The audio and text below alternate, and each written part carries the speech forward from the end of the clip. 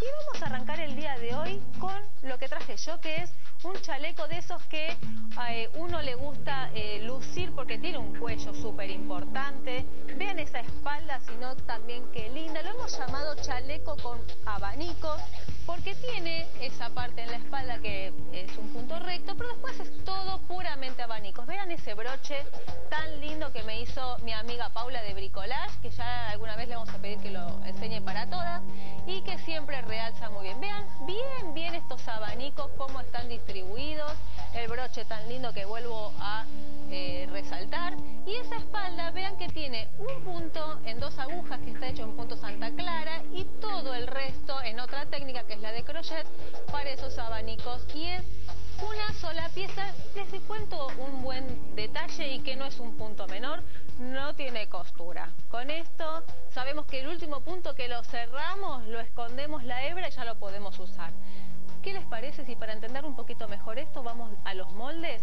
Que en realidad es un molde solo porque es una pieza única. Van a ver que tiene una parte central en la que tiene este rectángulo que yo les decía de punto Santa Clara y toda una parte alrededor que es la de los puntos abanicos propiamente dicho. Bien, vamos bien eh, al inicio de esto, yo no quiero que se pierdan un detalle, y es el inicio de el, paso, más bien podríamos decir, de lo que es las dos agujas al crochet. Este paño central, en este caso, miren, hasta se los traje en otro punto para que vean que puede ser Santa Clara, Jersey, el punto que se les eh, ocurra, el que mejor les salga.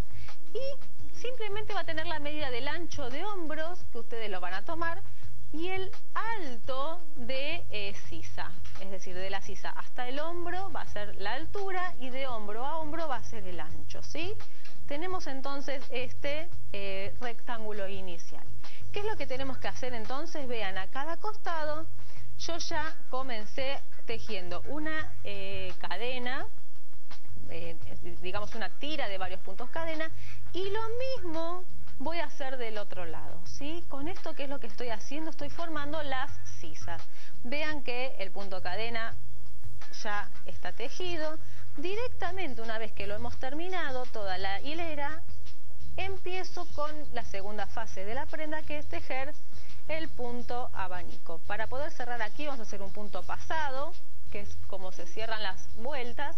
Y ahora sí vamos a hacer la elevación. ¿Cómo va a ser esta elevación? Con tres puntos cadena que equivale a la altura de una vareta y voy a elegir entonces en el mismo orificio tejer este abanico. ¿Se acuerdan lo que eran los abanicos? Eran grupos de varetas pinchados todos en el mismo punto, ¿sí? Es decir, en un mismo eh, orificio yo voy a ir